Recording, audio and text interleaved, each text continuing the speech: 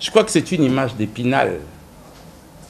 Vous savez ce que c'est? Donc une image viciée, je l'ai dit, tronquée, euh, à des fins certainement politiciennes. Mais moi, je ne fais pas la politique. Moi, je suis chargé de faire appliquer la loi. Rien que la loi.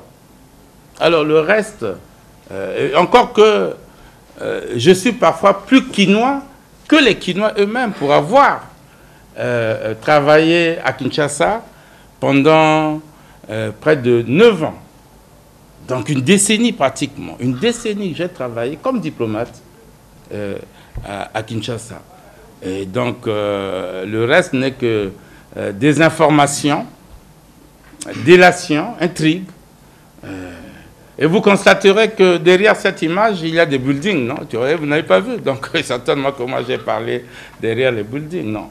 J'ai eu, j'ai eu les mêmes propos. Et j'ai ici le discours que j'ai utilisé dans tous les départements. Et j'ai traduit en lingala.